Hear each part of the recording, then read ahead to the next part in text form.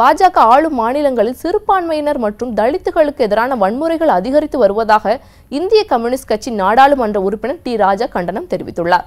டெல்லியில் செய்தியாளர்களிடம் பேசிய அவர் நாட்டில் பல்வேறு பிரச்சனைகள் அதிகரித்துள்ள நிலையில் இந்தியாவில் இல்லாமல் பிரதமர் அமெரிக்கா சென்று வேறு பிரச்சனைகள் குறித்து பேசுவதில் பயனில்லை என்று கூறினார்.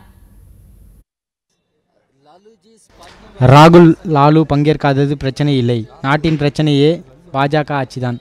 பாஜக ஆளும் மாநிலங்களில் சிறுபான்மையினர் மற்றும் தலித்துகளுக்கு எதிரான வன்முறைகள் அதிகரித்து வருவது கண்டனத்திற்கு உரியது. நாட்டில் பல்வேறு பிரச்சனைகள் அதிகரித்துள்ள நிலையில் இந்தியா இல்லாமல் பிரதமர் அமெரிக்கா சென்று வேறு பிரச்சனைகள் குறித்து பேசுவதில் பயனில்லை ராகுல் காந்தி டெல்லியில் இல்லாத காரணத்தினாலும் லாலு பிரசாத் யாதவ் பங்கேற்கவில்லை என்றாலும் அவரது கட்சி சார்பாக முக்கிய நிர்வாகிகள் பங்கேற்றுள்ளனர். ராகுல் லாலு பங்கேற்காது பிரச்சனை இல்லை. நாட்டின் பிரச்சனையே பாஜக தான்